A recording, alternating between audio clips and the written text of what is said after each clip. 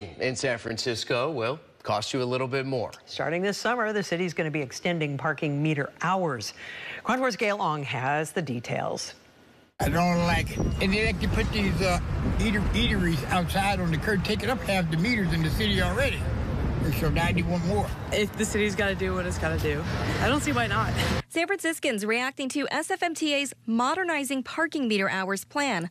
Starting this summer, the city will be extending parking meter hours until 10 at night, Monday through Saturday. And on Sundays, hours will be added. It will be between noon and 6 p.m.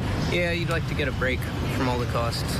So Sunday was nice. The reason for the new hours? We're facing a fiscal cliff. We're, we're looking at $130 million budget deficit that means without without any changes, without any new revenues, that would mean significant cuts to muni service. Hank Wilson is a parking policy manager with SFMTA. While we, of course, understand that nobody likes to pay for something that they used to get for free, meters are there for a reason, and they are the best tool that we have to actually create parking availability to help people who want to come in to our neighborhood commercial districts and shop and spend money. Beginning July 1st, the new hours will go into effect in the Fisherman's Wharf and Dogpatch neighborhoods. Dan Markowski says he avoids driving if possible. I ride the bike most of the time because of it, so just hard to find spots, that's all.